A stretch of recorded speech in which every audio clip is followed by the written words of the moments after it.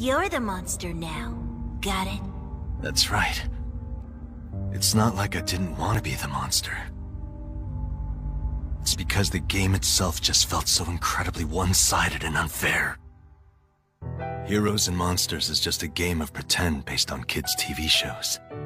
Everyone's free to choose what role they play. Tatsu was the most popular kid in class. But me, I was friendless, always with a dark cloud above. Everyone knew who the hero was going to be.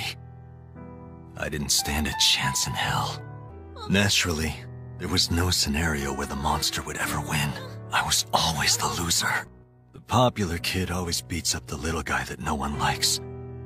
That's just the way the world works. Screw justice. And screw evil, too. I'm gonna be killed simply because that's what everyone else wants? It's not fair. I can't stand it. It pisses me off. All I want is to make them understand. I'm here to fight for underdogs everywhere. Good, evil. I reject them both.